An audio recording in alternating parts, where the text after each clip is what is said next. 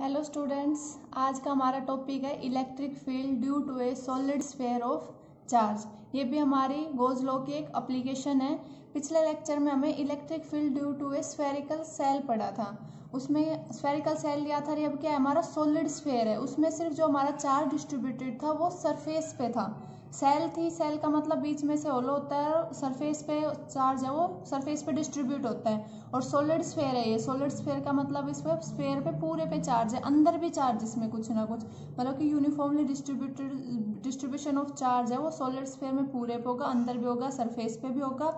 और जो हमारा स्फेरिकल सेल होता है, उसमें ओनली सरफेस सरफेस पे होता है। तो आज का हमारा टॉपिक है electric field due to a solid sphere of charge इसमें क्या लेंगे हम?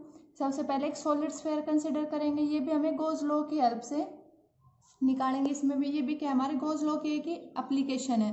तो क्या कंसिडर करेंगे हम एक सॉलिड स्फेयर एक सॉलिड स्फेयर कंसिडर करेंगे। इसकी रेडियस क्या मानी हमने? कैपिटल आर इस पर पूरे पे चार्ज जो क्या वो चार्ज लेंगे हम टोटल चार्ज क्यू वो पूरे के ऊपर डिस्ट्रीब्यूटेड होगा। जो स्पेरिकल सेल थे, उसमें ओनली हमारे सरफेस सरफेस पे डिस्ट्रीब्यूटेड था। और सॉलिड स्फेयर का क्या मतलब है? इस पर जो टोटल चार्ज क्यू है हमारा? वो पूरे पे है, इसके अंदर भी है और सरफेस पे भी है। तो टोटल चार्ज क्या हमारा? क्यू है? तो हमें वही तीन केस लेंगे जो स्फेरिकल सेल में लिया था। सबसे पहले हम जो पॉइंट पी पे निकालना, हमने इलेक्ट्रिक फ़ील्ड तो पॉइंट पी अगर हमारा आउटसाइड होगा, एक हमारा अगर पॉइंट पी है ऑन द सरफेस होगा, और तीसरा हमारा पॉइंट पी है वो इनसाइड द स्फेयर होगा। तो हमारी, इन तीनों अलग अलग केसेज में हमारी इलेक्ट्रिक फ़ील्ड क्या आएगी हम वो देखेंगे। तो सबसे पहले हम लेंगे कि हमारा जो पॉइंट पी है पी है वो लाइज आउटसाइड होगा। आउटसाइड द स्फीयर तो मान लिया हमने पॉइंट पी हम आउटसाइड द स्फीयर मानेंगे पी तो क्या करेंगे हम? गोज लो में क्या करते हैं? सबसे पहले हमें गोजियन सरफेस चाहिए। तो क्या करेंगे? पॉइंट पी से हमें गोजियन सरफेस ड्रॉ करेंगे।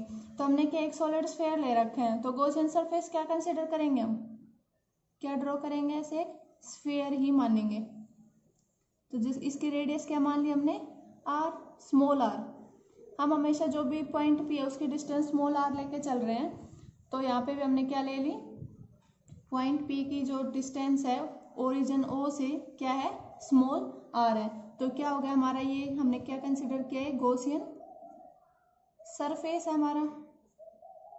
और क्या ये सॉलिड स्फेयर है?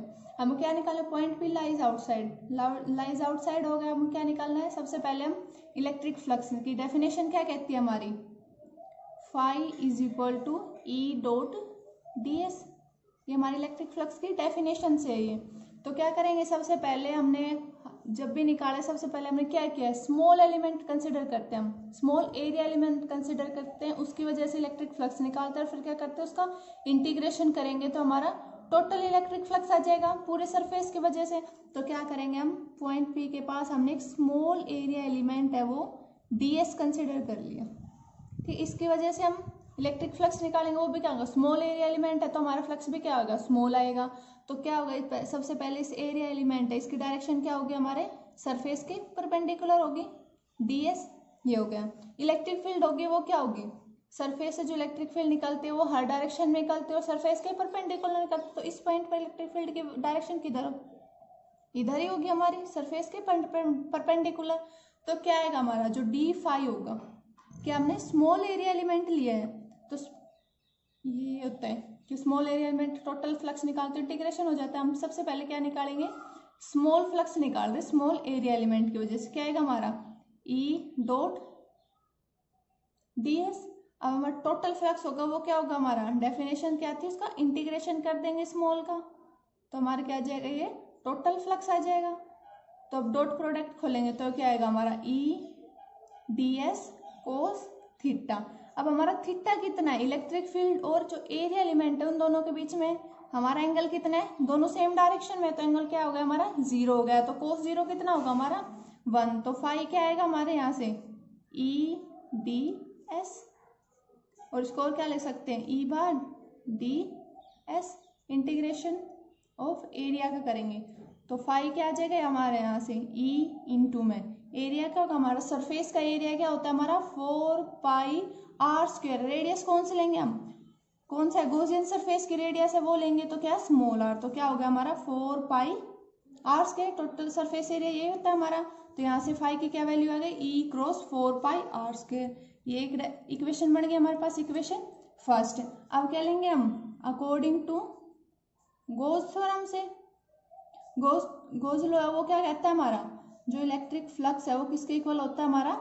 Charge enclose divide by epsilon naught ये होता है, हमारा चार्ज एनक्लोज कितना है? हमारा सरफेस स्फीयर है, उस पर कितना चार्ज है हमारा? क्यों चार्ज है टोटल तो पूरा चार्ज एनक्लोज है, हमारा पॉइंट क्या है? आउटसाइड है तो हमारा जो पूरा स्फीयर है वो क्लोज हो गया उसके अंदर तो टोटल चार्ज एनक्लोज कितना हो गया? क्या हो गया? तो यहाँ से फाइव क्या आएगा हमारा? क्या हो अपॉन एप्सिलॉन नॉट ये क्या हो गया हमारी सेकेंड इक्वेशन क्या करेंगे हम? Equating equation first and second तो क्या आएगा हमारे यहाँ से? E cross four pi R square is equal to क्या हुआ अपॉन एप्सिल नोट यहाँ से इलेक्ट्रिक फ़ील्ड की क्या वैल्यू आ गई हमारी? One upon four pi epsilon naught Q upon R square ये किसकी वैल्यू आ गई? हमारी इलेक्ट्रिक फ़ील्ड की वैल्यू आ गई, जब हमारा पॉइंट है वो सरफेस के आउटसाइड है। हमारे जो स्फेरिकल सेल थे, उसमें भी इलेक्ट्रिक फ़ील्ड की वैल्यू सेम आई थी। दोनों में कोई फ़र्क नहीं है। जब अब हमारा जो पॉइंट है, वो आउटसाइड होगा तो टोटल चार्ज पूरा स्फेयर क्लोज होता, हो जाता है हमारा गोसियन सरफेस में। तो टोटल चार्ज क्या हुआ इनक्लोज रहा, उसमें भी जो टोटल चार्ज क्या होता हुआ इनक्लोज रहा तो दोनों में जब पॉइंट पी हमारा आउटसाइड होता है तो दोनों में इलेक्ट्रिक फ़ील्ड की वैल्यू सेम आ रही है। अगला केस क्या हमारा? जब हमारा जो पॉइंट पी है P lies on the surface जो पॉइंट पी है वो हमारे सरफेस पे लाई करेगा तो क्या होगा? हमारा ये स्फीयर था।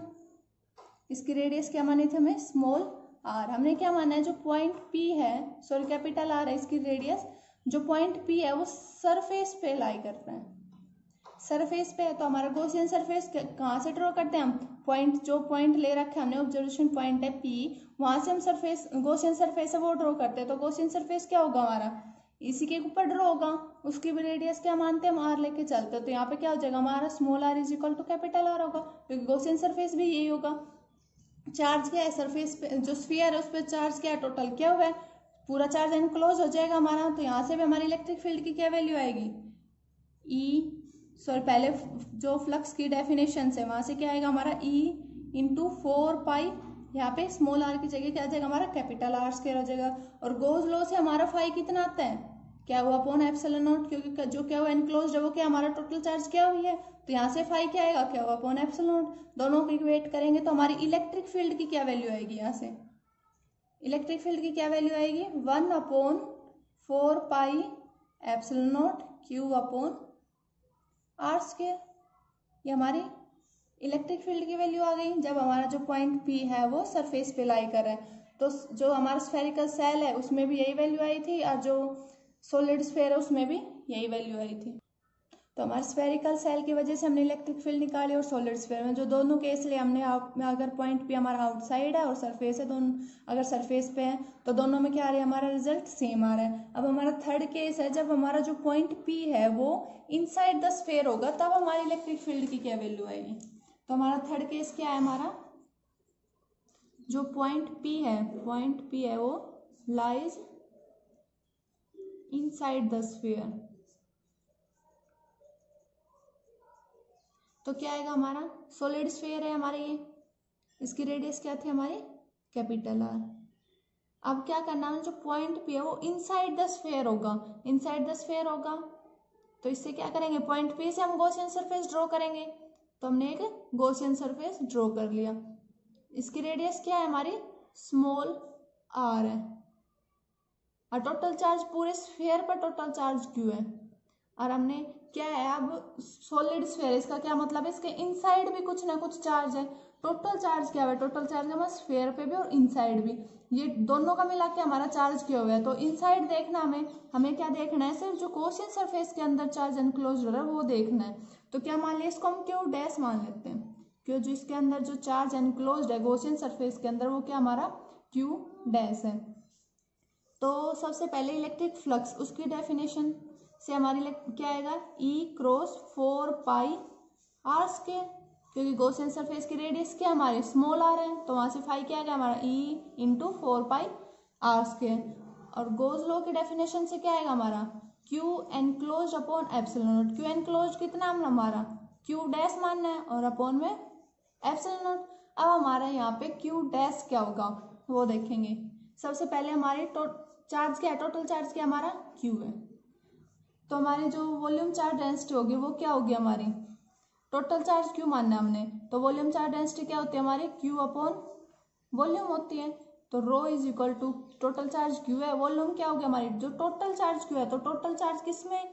डिस्ट्रीब्यूटेड है हमारा, पूरे स्फेयर में है। तो इसकी वॉल हम स्फेयर की वॉल्यूम लेंगे। Four upon three pi R Q क्या हो गया हमारी? जो वॉल्यूम चार्ज डेंसिटी होती है वॉल्यूम चार्ज डेंसिटी हम पूरे स्फेयर की निकालेंगे। जो हमारा सॉलिड स्फेयर गिवन है, उसके निकालेंगे। पहले हम टोटल चार्ज डेंसिटी निकालेंगे। तो क्या हो गया हमारे total charge divide by volume volume किसकी लेंगे हम? स्फेयर की वॉल्यूम सॉलिड स्फेयर की वॉल्यूम लेंगे। वो क्या हमारी four upon three pi R cube तो हमारा क्या है? ये total surface sorry volume charge density होगी तो हमारा क्यू डैश क्या हो गया? क्यू डैश क्या होगा हमारे? जो रो है टोटल ये होगी। और वो कितने वॉल्यूम में है?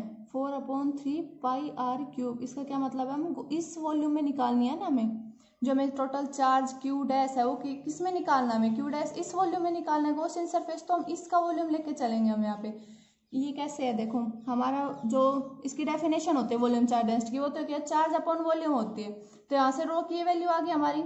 जो टोटल रो थी, वो आ गया। हमें क्या निकाल क्यू डैश निकालना है। तो यहाँ से अगर क्यू की वैल्यू निकाल तो रो इंटू वॉल्यूम होता है। तो हमें क्यू डैश निकालना है? तो क्या निकालेंगे? टोटल वॉल्यूम डेंसिटी है वो इंटू में वॉल्यूम जिसकी हमें निकालनी है, जिस सरफेस पे हमारा जो क्यू डैश चार्ज डिस्ट्रीब्यूटेड है, उस सरफेस की हम वॉल्यूम लेंगे।